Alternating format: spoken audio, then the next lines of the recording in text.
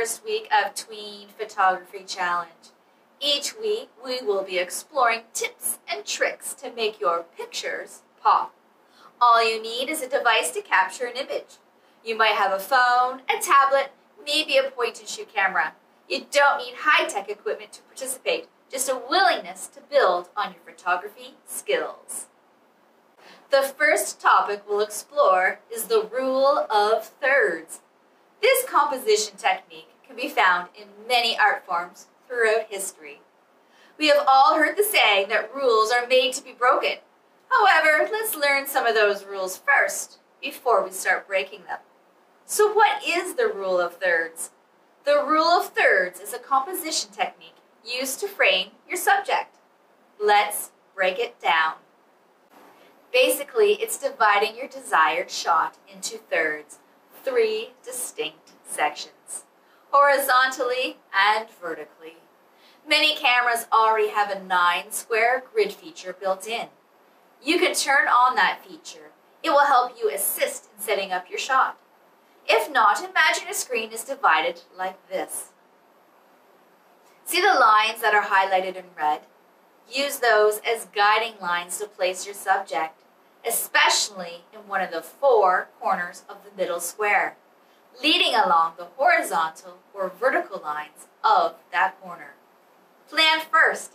Ask yourself, where is the point of interest in this image?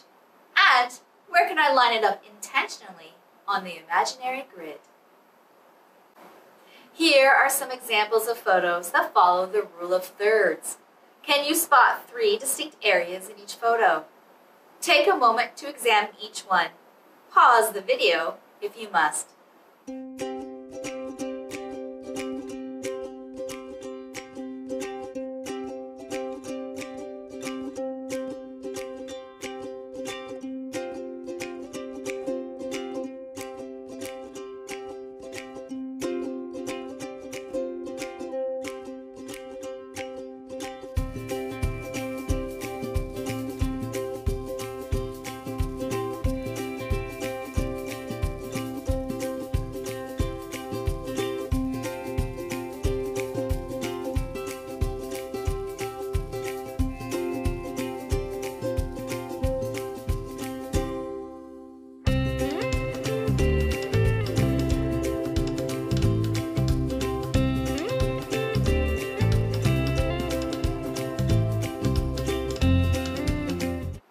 Rather than always placing your subject smack dab in the middle, a slightly off-center focus point adds interest.